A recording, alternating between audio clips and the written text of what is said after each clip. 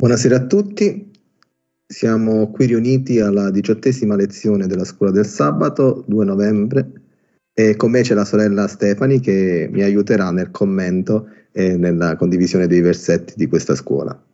Lascio la parola a Stefani che ci guida in una preghiera. Buon Padre celeste che sei nei cieli, nuovamente ti ringraziamo per la possibilità che ci doni in questo momento di poter, Signore, parlare di te e condividere la tua santa parola. Ti chiedo che ci guidi tramite il tuo Santo Spirito e possa tu, Signore, ogni giorno lavarci e purificarci di ogni nostro peccato e mancanza. Nel nome santo e benedetto di Gesù. Amen. Amen. Bene, la scuola di oggi ha come titolo Crescendo nella conoscenza. Leggiamo velocemente la nota introduttiva che dice Crescete invece nella grazia e nella conoscenza del Signore e Salvatore nostro Gesù Cristo. A Lui sia la gloria, ora e in eterno. L'unico modo per rimanere fedeli nelle nostre convinzioni è progredire ogni giorno nell'esperienza religiosa. La fede crescerà se supererai i dubbi e gli ostacoli che si presenteranno ogni volta. La santificazione è autentica quando si consolida costantemente se crescerete nella grazia e nella conoscenza di Gesù Cristo, approfitterete di ogni opportunità per comprendere sempre meglio la vita e il carattere di Cristo. Bene, lasciamo commento di, questo, di questa bellissima nota, andiamo subito nella, eh, a iniziare la, la, nostra scuola, così approfondiremo man mano i vari, i vari punti. Ti pongo quindi la prima domanda che dice, quale triplice connessione dell'amore divino presentò Gesù ai suoi discepoli?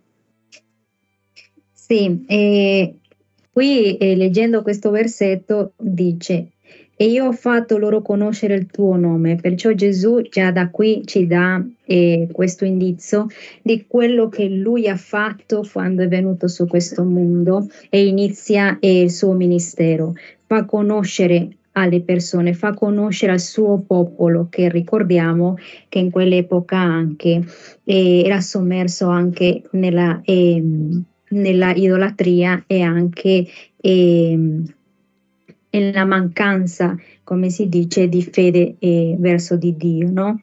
Però fa conoscere anche il nome di Dio ancora, anche i pagani, fa conoscere questo nome eh, agli altri popoli, però non soltanto Gesù lo fece conoscere, vediamo che anche Giovanni eh, e ci riportano, dice io ho fatto conoscere, loro, conoscere il tuo nome e lo farò conoscere ancora, dice, affinché l'amore, poi Gesù ci parla ancora di questo amore di Cristo, di Dio, che ha fatto conoscere al mondo e lo vediamo eh, che il, il, suo grande amore lui lo porta e come lo porta?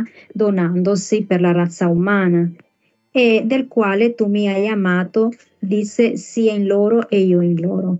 Perciò vediamo che qui ci parla prima del nome di Dio che Gesù Cristo ha portato a conoscere a questo mondo, ci parla dell'amore che Cristo stesso fa conoscere e l'amore di Dio che porta su questa terra lo fa conoscere al mondo e parla e ancora una volta no, con quello stesso amore che tu mi hai amato sia in loro e io in loro. Sì, grazie Stefani. Molto interessante questo, questo, passo che si pone alla fine della preghiera sacerdotale di, di, Cristo Gesù ed è sinossi, se così possiamo dire, di tutto quello che, eh, che, è il suo percorso, che è il suo percorso su questa terra come, eh, come uomo.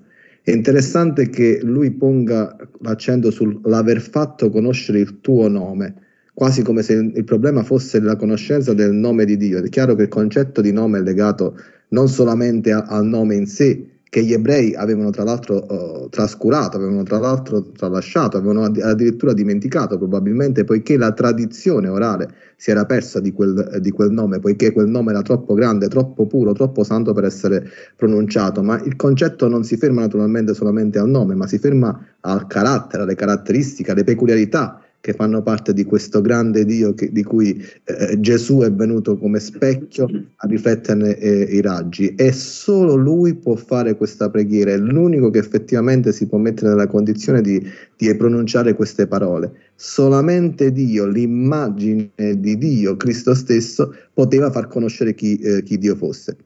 Qui eh, ancora l'accento si ferma non soltanto su un'azione passata raccontando quello che ha già fatto o sul presente, lì dove sta cercando di dare le ultime direttive, gli ultimi segnali, gli ultimi avvertimenti le ultime impostazioni ai suoi apostoli, ma si proietta anche nel futuro. Infatti dice lo farò conoscere ancora. L'opera di Cristo non è finita lì, non si è ancora adempiuto quello che si dovrà adempiere. L'opera, l'opera di Cristo continua. L'opera di Cristo continua nel momento culminante della sua stessa vita che culmina eh, in maniera eh, in maniera eccentrica, potremmo dire, nel, uh, nel, nella morte l'acme del, eh, della sua vita sta proprio nella morte e soprattutto nella resurrezione della morte, nonché nella Pentecoste. E quest'opera del far conoscere eh, l'Iddio vivente continua ancora oggi eh, perché Egli intercede per noi.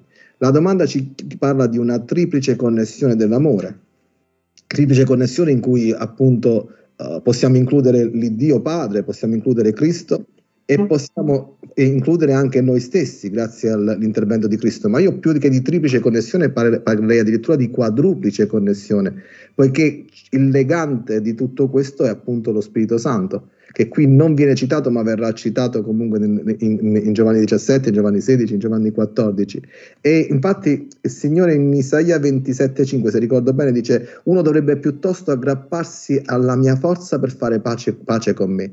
Ecco, la forza di Dio, come espressa in Zaccaria 4,6, rappresenta appunto lo Spirito Santo e questo è il, è il legame, il quadruplice legame nel quale noi siamo, oh, siamo, veniamo inclusi grazie al sacrificio di Cristo. Egli ci ha fatto conoscere l'Iddio vivente, egli è l'immagine dell'Iddio vivente, egli è l'Iddio vivente. Chi ha conosciuto Cristo può dire di aver conosciuto Dio e chi ha conosciuto l'amore di Cristo, chi ha sperimentato l'amore di Cristo, ha di conseguenza sperimentato quello che è l'amore di Dio stesso. Sì, eh, Vito, io eh, mi, mi, mi, è venuto in mente quello che dicevi no, del carattere, perché il nome di Dio, come hai detto tu, è legato al carattere. E leggevo i messaggi ai giovani eh, a proposito del carattere di Cristo, no? che noi credenti dobbiamo riflettere questo carattere eh, in qualsiasi ambito dove noi, eh, ad esempio, possiamo esserci.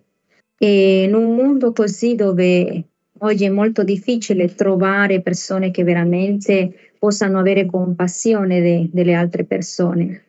E io personalmente li vedo queste cose, li vedo nel percorso che sto facendo. È difficilissimo e trovare persone che mostrano compassione magari per una persona che non sta bene e si tende sempre ad andare a, alla durezza o si tende sempre a essere un po' superficiale. Ma eh, quando eh, tu leggi questo eh, e ti viene in mente ciò che dicono gli scritti, ehm, non puoi fare altro che eh, trattare no? di mostrare questo carattere di Cristo. E, ehm, quando ti entra nella mente e ti entra nel cuore, eh, le azioni che fai, eh, devi dimostrare proprio il carattere di Cristo, così come dice Lenguaino, perché il mondo è manca, è man, manca tanto la misericordia, manca tanto la benevolenza, manca tanto eh, il rispetto. E Cristo aveva tutte queste caratteristiche che noi credenti dobbiamo anche eh, acquisire giorno dopo giorno. Nella lettera agli Efesini Paolo ci ricorda un concetto molto importante, dice che mm, affinché Cristo abiti nei vostri cuori per mezzo della fede, affinché voi conosciate, siate radicati e fondati nell'amore e possiate comprendere con tutti i santi quale sia la larghezza, la lunghezza, la profondità e l'altezza.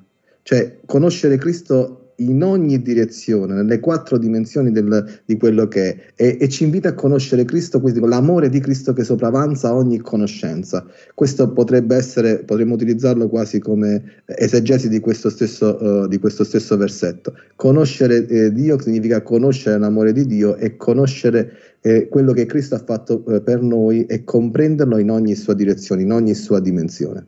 Bene, la seconda domanda ci dice che chi presentano al mondo i seguaci di Cristo? Bene, qui ci troviamo in una scena ben conosciuta, leggiamo un attimo il versetto per, per comprendere il, il, tempo e il luogo in cui ci troviamo. Poiché passando in rassegna, osservando gli oggetti del vostro culto, ho trovato anche un altare sul quale era scritto al Dio sconosciuto. Quello dunque che voi adorate senza conoscerlo, io ve lo annunzio. Paolo in questo preciso momento si trova ad Atene si trova eh, effettivamente sull'aeropago di, eh, di Atene, nel, nel punto, uno dei punti più alti, nella, nella città vecchia della, della, stessa Atene che è possibile, eh, è possibile ancora adesso eh, visitare. Io ci sono stato, è stata un'esperienza veramente molto bella. C'è un'iscrizione in quale ci sta appunto uh, incluso questo, questo, passo degli Atti 17. Eh, vorrei sottolineare prima di tutto un, un piccolo particolare della, della traduzione stessa. Qui la scrittura dice al Dio sconosciuto. Nella versione originale originale, eh, in quella greca, il, l'articolo determinativo non c'è. I greci hanno l'articolo determinativo. La traduzione letterale dovrebbe essere a un dio sconosciuto.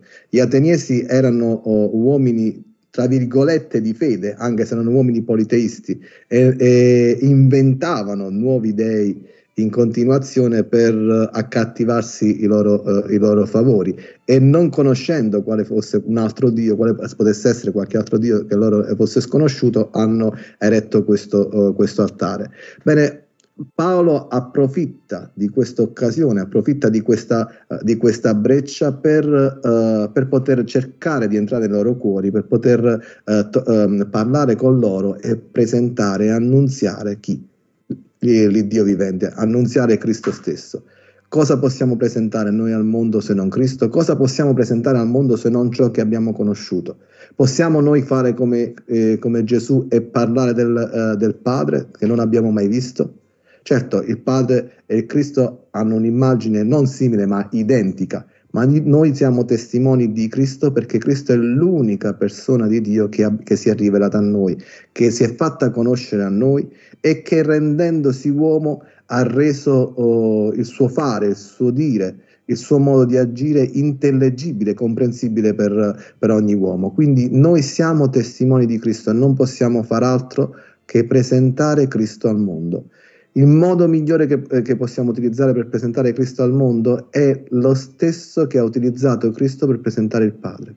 Cristo ha presentato il Padre comportandosi ed essendo come Lui essendo perfetto e santo come Lui. Noi possiamo presentare Cristo a, a, a, agli uomini non soltanto leggendo un versetto, spiegando lo stesso, ma dobbiamo puntare ad arrivare a quell'obiettivo, a diventare come Cristo, a far conoscere davvero il Cristo che noi conosciamo, eh, l'Iddio vivente, così com'è Gandhi disse che non era mai diventato cristiano perché non ha mai avuto l'occasione di conoscere qualcuno che si comportasse come Gesù. Ecco, noi dobbiamo riuscire a rompere questo muro. Noi dobbiamo riuscire ad arrivare ad essere come, eh, come lui. Dobbiamo riuscire ad arrivare a dire, come diceva uh, Paolo, mi sembra in 1 Corinzi 11.1, siate miei imitatori come io lo sono di Cristo. Certo, bisogna realizzare però la prima parte, diventare degli esatti eh, imitatori di Cristo, degli specchi che riflettono perfettamente e interamente la sua luce. Ti pongo la terza domanda che dice, cosa succede quando la conoscenza ricevuta da Dio non viene stimata? Bene, qui eh, questo versetto biblico è molto interessante perché a volte non ci pensiamo, no? Però la parola di Dio è come è tanto profonda, ci viene detto che l'uomo diventa insensato nei loro ragionamenti e il loro cuore dice senza intendimento e si è ottenebrato, dice. Tenebrato vuol dire che navega nel buio, che è nel buio, che, che non conosce veramente eh, ciò che poi le sta davanti. E poi dice essi che hanno cambiato la verità di Dio in menzogna, cioè hanno conosciuto veramente Dio, hanno conosciuto la parola di Dio, il messaggio di Dio, ma l'hanno cambiata, disse in menzogna, e hanno adorato e servito la creatura al posto del creatore che è benedetto in eterno. Però la nota ci, ci, ci dà un, altro importante messaggio per noi, perché dice se trascurate o trattate con indifferenza gli avvertimenti da, dati da Dio, se accarezzate o scusate il peccato, voi decidete il vostro destino eterno e sarete pesati sulla bilancia e trovati mancanti. La grazia, la pace, il perdono vi saranno per sempre tolti. È molto profondo, no?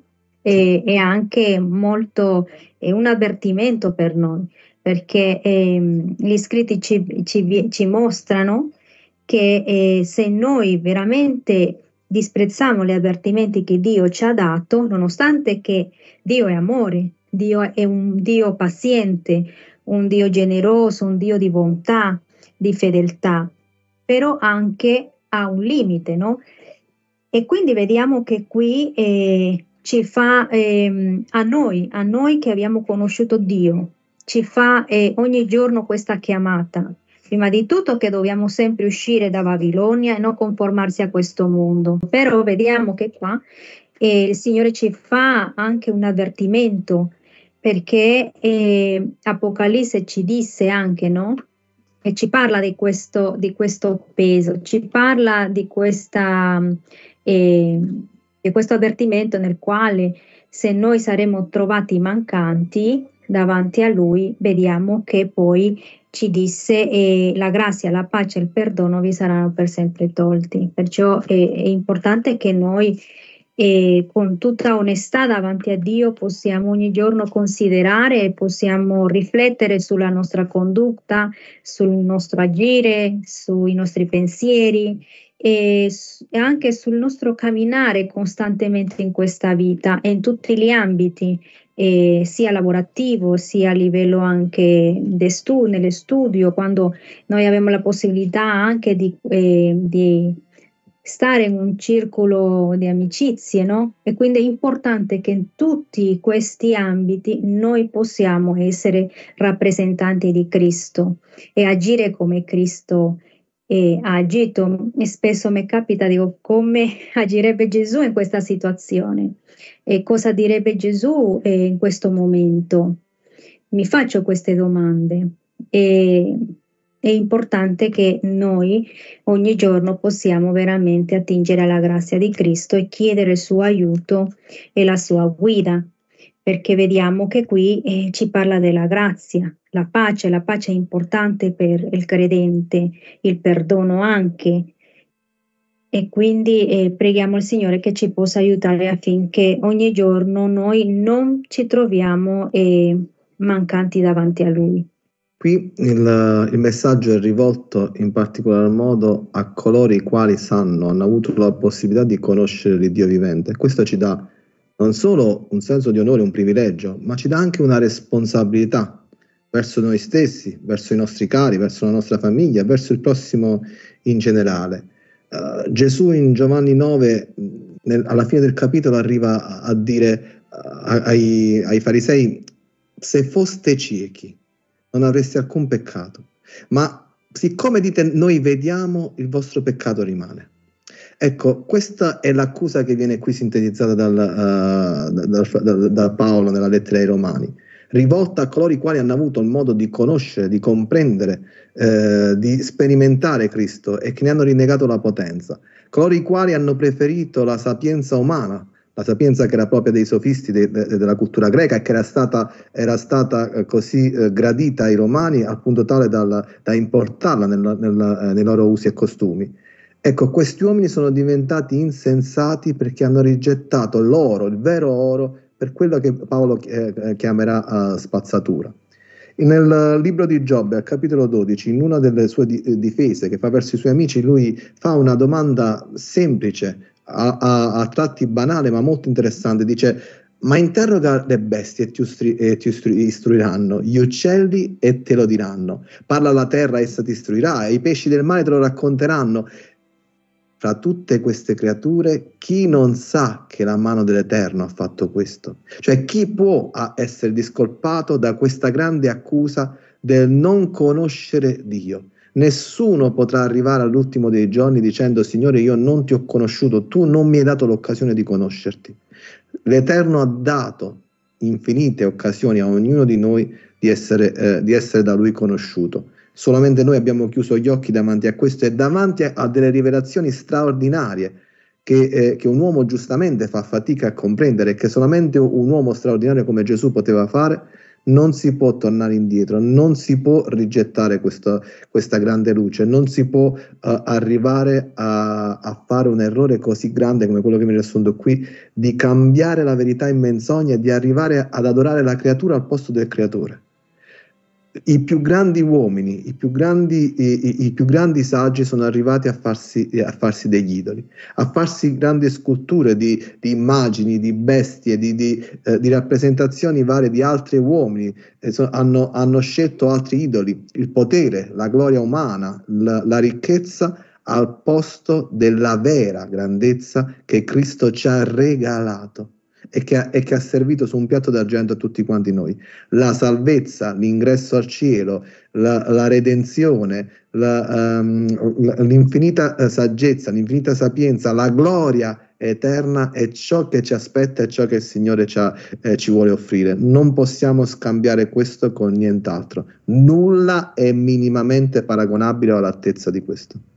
Bene, dice qual è il fondamento della conoscenza autentica? Bene, anche qui mi fermerei a, a, leggere un attimo i versetti per cercare di comprendere qual è l'oggetto del, uh, del nostro dire.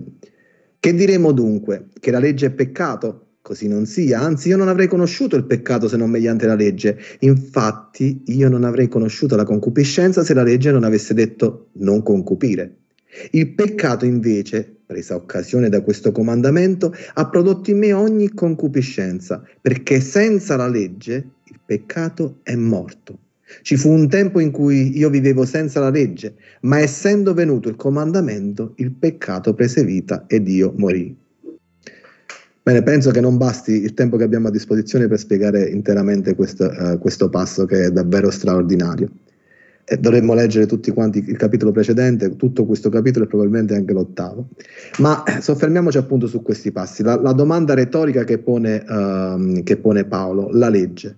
La legge è fondamento che Cristo ha scelto non solamente per noi, ma per tutto quanto il creato. Addirittura il suo trono poggia sulla legge. La giustizia è la base del suo trono, dirà, dirà il, il, salmista nel, nel Salmo 89, e, ed è la legge stessa. Questo, ciò che regge tutta la creazione è la legge.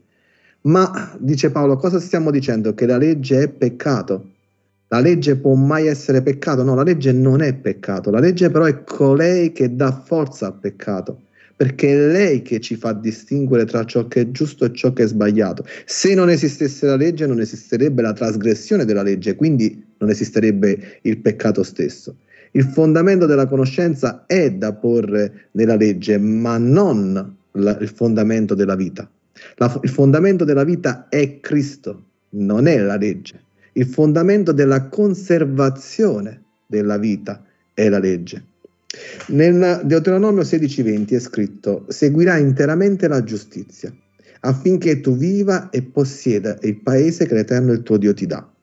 Ecco, quando il Signore dà questo comando attraverso Mosè, li ha già liberati dalla terra promessa. Quindi questo qui è un secondo step, gli uomini sono già salvati e a questo punto viene proposto loro proposto, imposto anche, anche dettato come, come, eh, come, diktat, quella di rispettare la legge per conservare questo, eh, questo status. Noi che oggi eh, abbiamo accettato Cristo nella nostra vita abbiamo ottenuto in dono la salvezza, gratuitamente, senza fare assolutamente nulla e sia benedetto il Signore per questo, perché se, se, qualcuno di noi avesse dovuto fare qualcosa per la salvezza non ci sarebbero stati salvati. Ecco, questo patto, questo ultimo patto, questo settimo patto fatto tra Dio e l'uomo ha come uomo Cristo Gesù, che è anche Dio. Ed ecco perché questo patto è inscindibile, perché nessuna delle due parti può e vuole venire meno a questo, a, allo stesso. Ecco perché la salvezza è garantita in questo, ma la legge ci, ci garantisce la conservazione perpetua di questo, uh, de, de, de, della, della vita stessa e delle benedizioni di Dio. Se Adamo ed Eva, i nostri progenitori, avessero mantenuto fede al patto che era stato loro, oh, loro proposto, non avrebbero, non avrebbero, mai peccato, quindi non avrebbero mai dovuto conoscere le conseguenze della trasgressione della, eh, della legge, le maledizioni che ci sono nella trasgressione della legge. Quindi sì, la, la legge non è il mezzo deputato per la nostra salvezza, ed è spesso questo concetto nel capitolo successivo, Romani 8, versetti 2 e 3, ma al contempo è la garanzia della conservazione di questa salvezza che abbiamo, che abbiamo gratuitamente eh, lode a Dio ricevuto dal, uh, attraverso Cristo. Sì, stavi parlando della salvezza che è gratuita, no? E, e però questa, questo concetto, questo che la Bibbia ci mostra, quando si li parli, almeno a me è capitato a qualcuno e tu gli dici guarda che la salvezza è gratuita, non ci credono. E non ci credono perché mi viene risposto niente è gratuito su questo mondo. E, e spesso capita con le persone a cui sono a contatto, i malati, e che io, eh, Dio mi dà la possibilità di parlare di questo, e, e rimangono come, come se tu le stai dicendo qualcosa che, che per loro è impossibile di poter mm, eh, comprendere, accettare perché loro spesso eh, non ci credono. E quindi però eh, noi che abbiamo conosciuto Dio e io personalmente lo ringrazio perché mi dà questa fede di credere che la salvezza non è per meriti, ma per tramite veramente solo la grazia e un dono di, di Dio che ci ha donato e, e vedo che questa opera di credere questa grande eh, obsequio, no? questo grande regalo che ci ha dato il Signore è soltanto tramite lo Spirito Santo. L'unico che può fare questa opera nel nostro cuore, nella nostra mente, è lo Spirito Santo che ci convince, che ci aiuta a comprendere queste grandi verità. E oggi come oggi eh, sta a noi poter eh, veramente portare questo. E mi ricordo che Paolo diceva, no? Eh, io predico, io predico al mondo, in poche parole lui dice, no? Porto al Cristo che è morto, che è risorto, crocifisso a tante persone nel momento, diciamo, avendo già un'età molto avanzata, non le puoi spiegare tante cose che vorresti, ma ehm, quello che a me mi viene in mente è come portare ciò che eh, Paolo portava, a un Cristo che è stato morto, ma risorto, e portare il piano della salvezza a queste persone che avranno possibilità di vita, magari alcuni pochi anni, altri magari stanno per morire. E ti rendi conto in quel momento che il punto cruciale della vita dell'uomo è portare la salvezza, quella salvezza che è un dono all'uomo affinché l'uomo possa confessare i peccati, pentirsi e poter ottenere, e poter ottenere quella salvezza in Cristo. Ti pongo quindi la quinta domanda che dice cosa fa vergognare una persona? Eh, c'è un versetto biblico in Ecclesiaste 10 che mi è venuto in mente leggendo questa domanda e parla eh, delle mosche quando entrano in questa fragranza, in questo profumo, ma si entrano, non è più buono il suo odore. Quindi cosa fa vergognare una persona?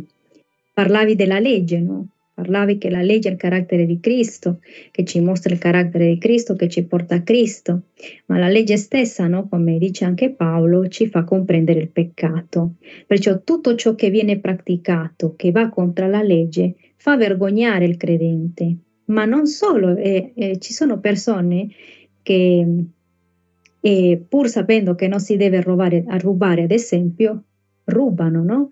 Quindi anche questo eh, tante volte eh, l'essere umano eh, quando viene preso nell'atto è una vergogna, no?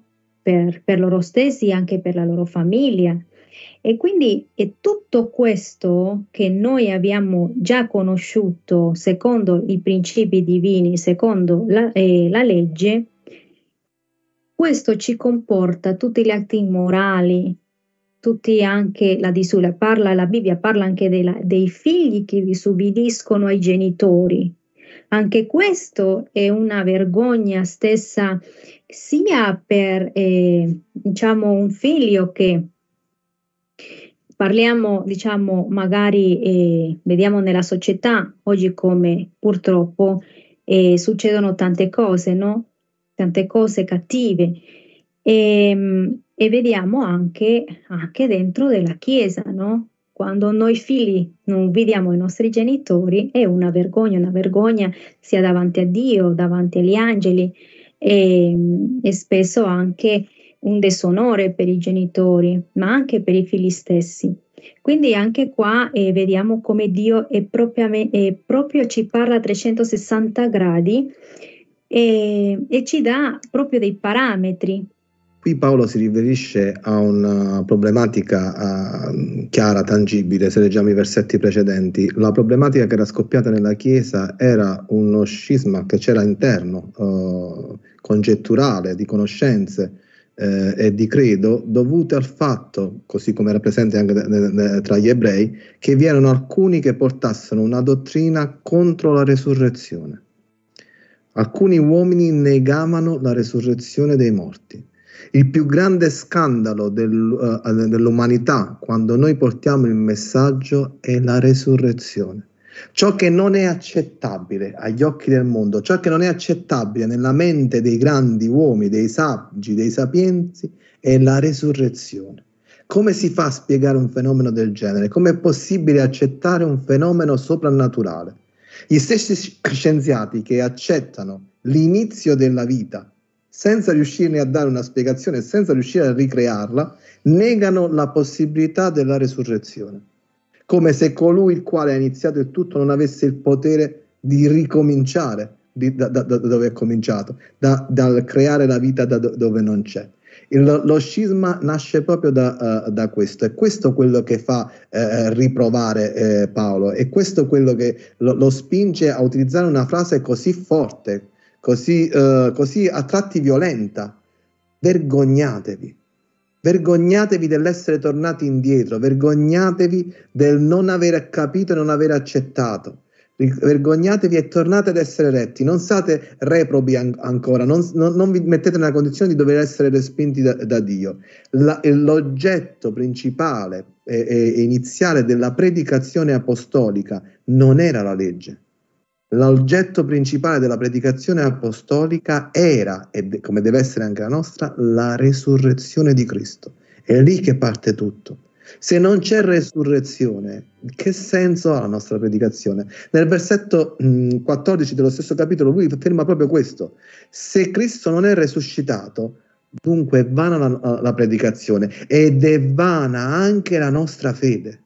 Tutto punta lì e, lo, e, quello che vuole distruggere il, il, nemico nella mente degli uomini è proprio questo, l'accettazione di un evento così assurdo, di questo concetto del miracolo, di questo concetto del, della vita che viene dal nulla, dal concetto della vita che, dalla morte che, eh, che può rigenerare la vita attraverso, attraverso Cristo. È un concetto che va al di là della nostra comprensione, ma noi possiamo e dobbiamo accettarlo perché abbiamo visto e sentito e conosciuto Cristo Gesù, perché abbiamo toccato con mano l'oggetto del suo dire e del suo parlare, perché siamo testimoni, anche se non, uh, non diretti, di quella che è la resurrezione di Cristo e di quello che, può, che potrà fare uh, anche nella nostra stessa vita. Questo è l'oggetto di scandalo della nostra predicazione, questo è ciò che, sul quale si dov- sarebbero dovuti vergognare questi uomini. Si vergognino tutti coloro i quali si credono savi e rifiutano la conoscenza dell'Eterno, rifiutano il concetto di vita e rifiutano, rifiutano il concetto di resurrezione,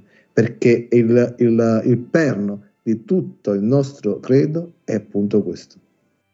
Sì, mi viene in mente paro- eh, quel versetto che dice, in italiano non mi ricordo, però dice, eh, que quien no mete su mano en el arado, que quien mete su mano en el arado y mira atrás, no è degno di me.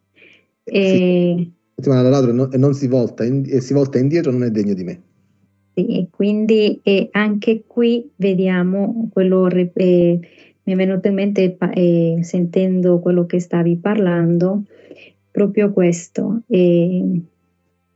cosa fa vergognare una persona? Luca 9,62 dovrebbe essere.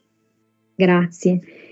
vediamo che questo è proprio ciò che eh, dobbiamo ogni giorno riflettere perché eh, gli angeli ci, ci osservano, Dio ci osserva. È una vergogna quando noi veramente ci riveliamo contro i principi di, di Dio e, e, i principi di Dio, io parlo alla gioventù, ci proteggono tanto e, e ti, fa, re, ti, rende felice perché eh, vedi proprio che questi, questi principi sono quelli che eh, ti preservano da tanti mali.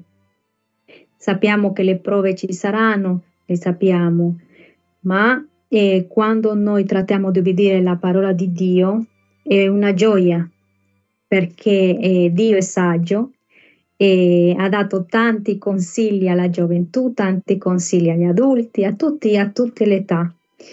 E, ehm, perciò eh, che Dio ci possa aiutare. Io spesso faccio la chiamata ai giovani che possiamo veramente avvicinarci a Cristo perché i principi, i valori oggi nella società si stanno completamente, letteralmente perdendo, eh, ma sia ringraziato Dio che ci ha dato questa conoscenza nella quale ci protegge di tanto e ci protegge anche del non dimenticarlo anche, perché dice ricordati del tuo creatore nei giorni della tua giovinezza.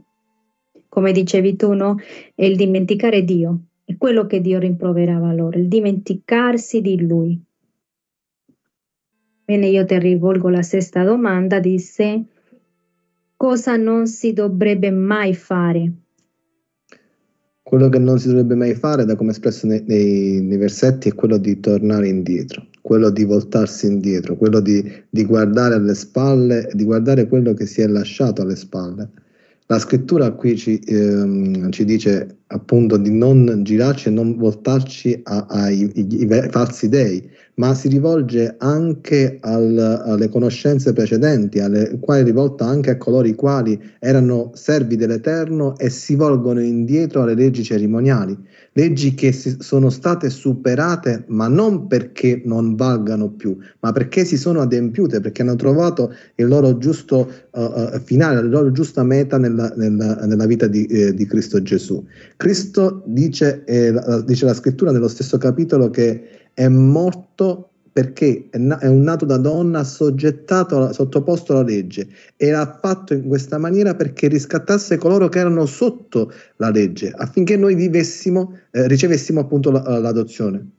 Avendo ricevuto l'adozione, noi non viviamo più sotto la legge, al contrario viviamo sopra la legge. Ciò non significa che stiamo abolendo la legge, assolutamente. No, significa che non viviamo per la legge, ma vi, eh, viviamo eh, eh, eh, perché la legge vive dentro di noi. Quindi noi dobbiamo, um, uh, come dire, uh, realizzare il piano straordinario della legge nella nostra vita, ma lo possiamo fare solo dopo aver ricevuto, aver ricevuto Cristo. Non possiamo volgerci indietro, non possiamo tornare certo ai riti alle cerimonie del, uh, del passato. Tutto questo si è adempiuto in Cristo, ha avuto uno scopo in Cristo, ha avuto un obiettivo in Cristo e riparte da Cristo. Ogni, il fine della legge è Cristo, dirà eh, Paolo in Romani 10 10.4 e si è perfettamente adempiuta in lui. Ecco, noi che abbiamo ricevuto la grazia abbiamo questa possibilità, questo privilegio di adempiere stesse,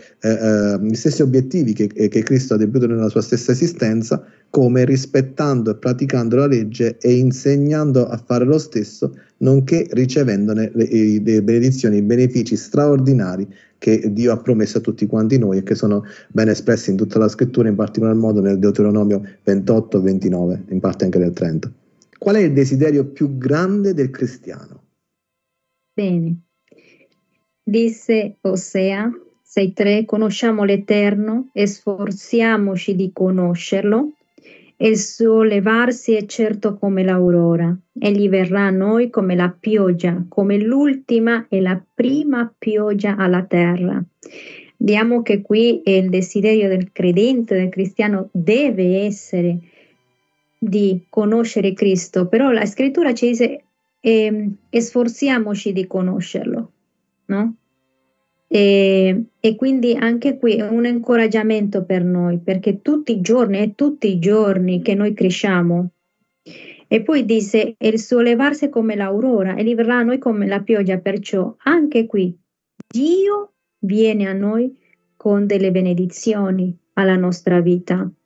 Dice come l'ultima e la prima pioggia alla terra. Un altro desiderio del cristiano è un giorno anche incontrare Cristo, avere questa vita eterna, di vederle faccia a faccia, no? E lo studio ulteriore, Vito ci dice, l'amore di Cristo è progressivo, con uno sforzo costante crescerete nella conoscenza di Dio. Essere puri, santi e senza macchia costa qualcosa, ma ricordate che colui che non offende con le parole è un uomo perfetto. Ecco, questa lezione, oltre a essere un ricordatorio che noi eh, dobbiamo avere ogni giorno crescendo no? nella conoscenza di Cristo, se noi leggiamo va proprio a colpire eh, eh, sempre il nostro uomo interiore che abbiamo e ci fa un paragone fra il carattere di Cristo e il carattere nostro che è difettuoso. E qua ci disse perché dice che essere puri, santi, senza macchia costa qualcosa. E sì, perché noi siamo, abbiamo no, questo, questo carattere difettuoso e spesso lottiamo contro i nostri desideri e quello che eh, lo Spirito Santo ci ha insegnato. Ma ricordate che colui che non offende con parole è un uomo perfetto, capace anche di tenere a freno tutto il corpo.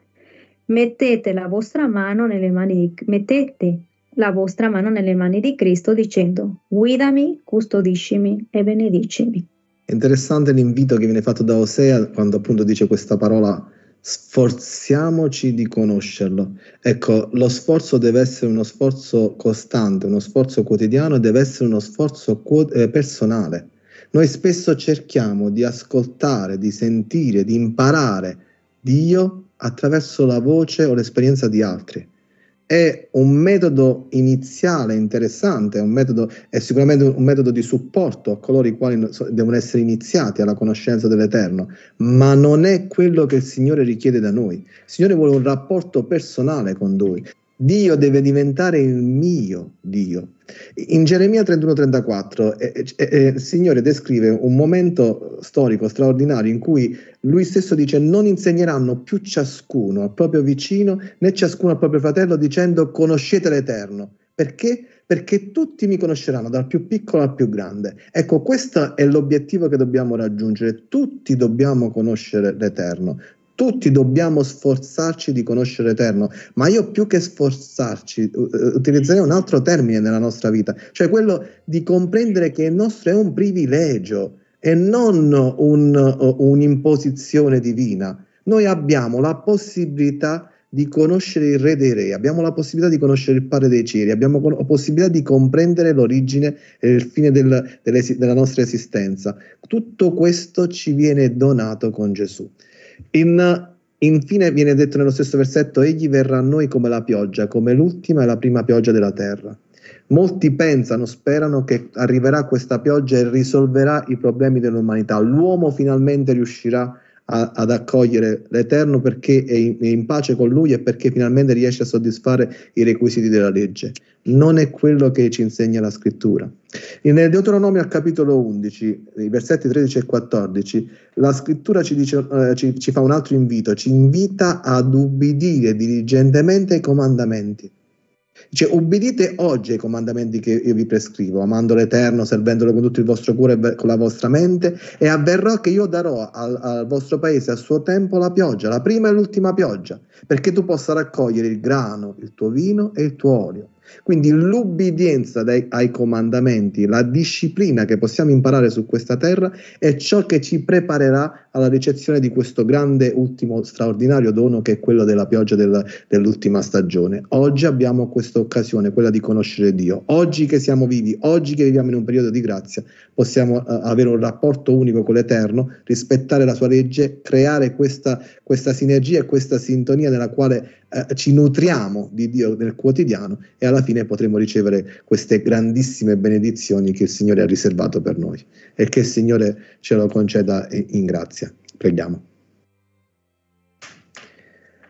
Padre Santo che sei nei cieli e sei anche qui in mezzo a noi, ti ringrazio ancora una volta per queste perle straordinarie che ci dai ogni giorno, per il pane della vita che ci hai spezzato e più di ogni altra cosa ti, eh, ti ringrazio per aver dato tuo figlio Gesù a morire per tutti quanti noi. Ti prego, fa che queste verità possano imprimersi nel nostro cuore, nella nostra mente, nel nostro spirito.